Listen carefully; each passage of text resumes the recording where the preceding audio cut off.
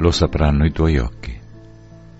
Lo sapranno i tuoi occhi che hanno visto il mondo, la gioia e la tristezza, che hanno incontrato povertà e miseria, bambini armati per inutili guerre, donne lapidate, disumane sofferenze.